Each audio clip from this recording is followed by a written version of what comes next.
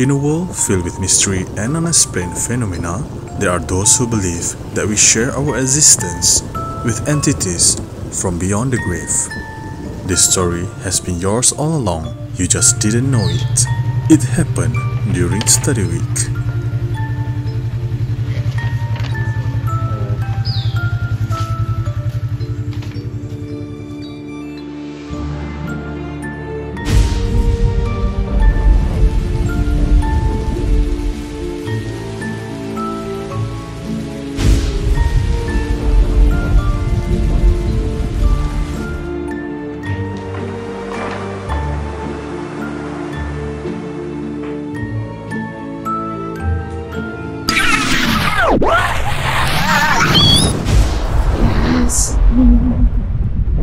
Yasmin.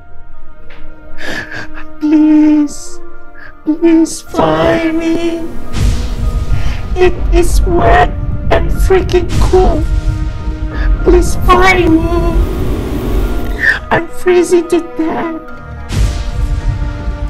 I was passing in front of Polytechnic Sing with a velocity of 30 meters.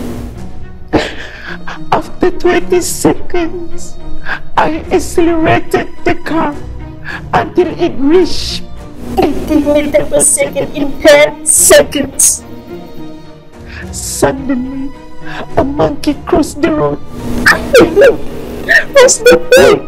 And the car veered off and plunged into the river. Please find me,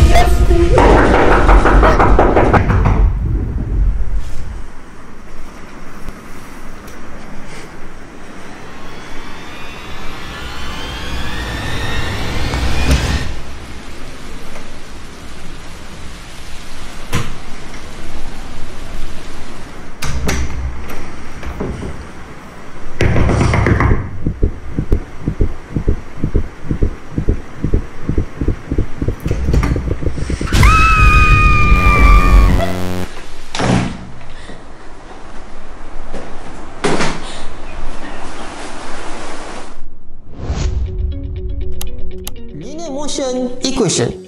Based on problem given, a car is moving with a uniform velocity of 30 meter per second in 20 seconds, then accelerates until it reaches a velocity of 80 meter per second in 10 seconds.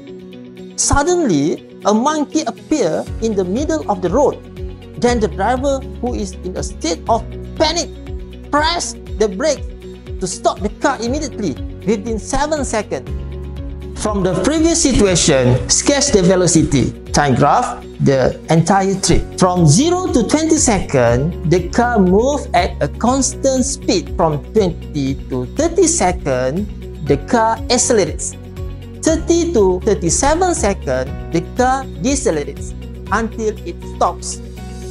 Now, we calculate the acceleration of the car when the driver increases the velocity from 30 to 80 meter per second. First, we use velocity equation.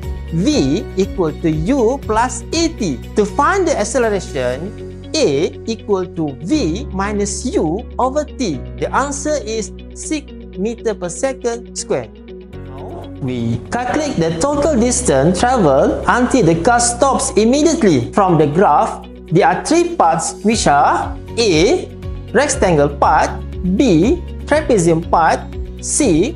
Triangle part So, we use the rectangle formula for rectangle part Then, we use the trapezium formula for the trapezium part And we use the triangle formula for the triangle part And the answer is 1430